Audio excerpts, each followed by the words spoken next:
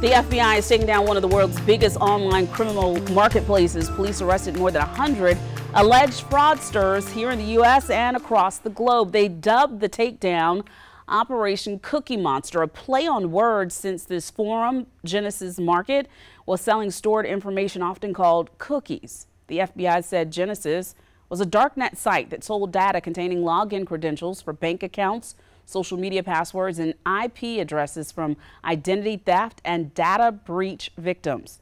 It sold 80 million sets of ID information for more than a million and a half dollars. To avoid becoming a victim of fraud, experts suggest taking software updates on your phones and computers, choosing a strong password when possible, and using two-factor authentication.